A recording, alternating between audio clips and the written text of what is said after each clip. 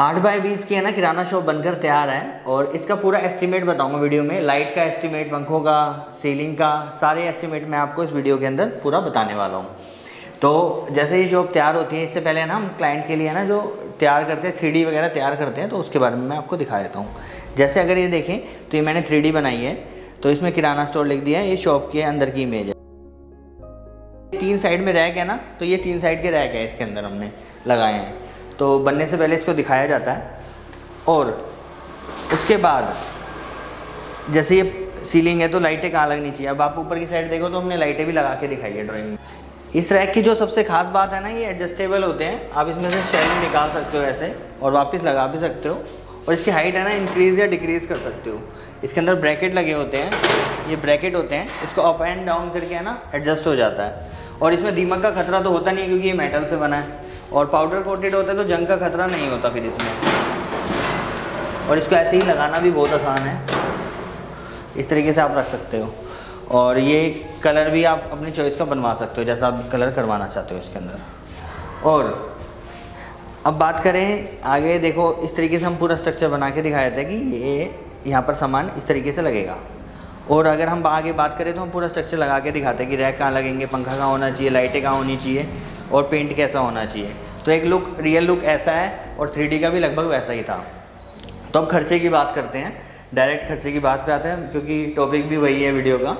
तो जो ये रैक का खर्चा आता है, ये पचपन से साठ हज़ार रुपये आए तीनों दीवारों का रैक का। और इनमें आगे फ्रंट स्टॉपर दिए गए हैं जाली वाले, ताकि सामान नीचे ना गिरे गिरे, और साइड में भी जालियाँ दी गई हैं। और ठीक अगर ऊपर देखें तो ये जो लाइट का खर्चा है ना, सिर्फ़ छः हज़ार रुपये आया है। अराउंड वन थाउज़ेंड रुपीज़ की लाइट है, और बाकी वायरिंग का खर्चा जो अलग आएगा, वो तो आएगा ही।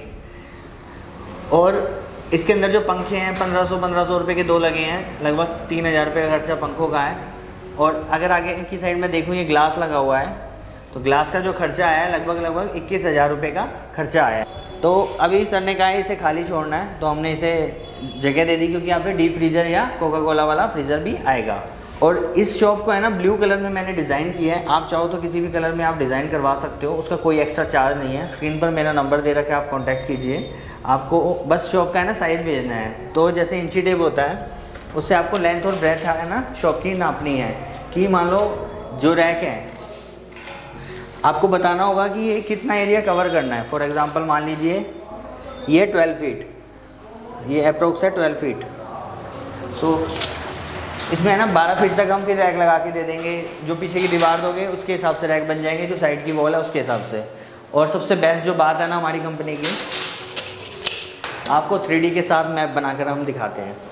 तो जैसे इसमें दिखा रखा है जैसे ये देखो, सामान लगा के सारा दिखा रखा हमने। कैसा लगेगा बनने के बाद? ये शटर की जगह छोड़ दी है। तो ये काउंटर की जगह छोड़ दिया काउंटर लगेगा। तो मैं काउंटर का स्पेयर रियल में भी दिखा देता हूँ। यहाँ पे सर अपना वुडन का तैयार कराना चाहते थे काउंटर इसलिए हमने यहाँ नहीं बनाया। तो आप भी अपने हिसाब से कस्टमाइज़ करा सकते हो। जो स्विच बोर्ड है ना काउंटर के ठीक पीछे लगने चाहिए। ताकि आप जब बिल करो तो कंप्यूटर कनेक्ट हो जाए इससे। और जो यहाँ की हाइट है, लगभग है ना एट फीट की हाइट है इस शॉप की अप्रॉक्स और जो रैक की हाइट हमने दी है, वो हमने दी है सिक्स फीट दी है। और साइड में जालियाँ दी हैं ताकि सामान नीचे ना गिरे। और अगर इसको देखें तो बड़ा ही प्यारा व्यू आ रहा है। और इसमें सेंटर में जगह नहीं थी, इसलिए हमने रैक नहीं लगाया। लेकिन जैसे अगर आपको शॉप में खुद एंटर करना है तो आप इसमें ना छोटे साइज़ के ड्रम रख सकते हो यहाँ पर। वीडियो पसंद आई, वीडियो को ज़रूर लाइक करना चैनल को सब्सक्राइब करोगे तो ऐसे वीडियो फ्यूचर में भी आते रहेंगे। Thank you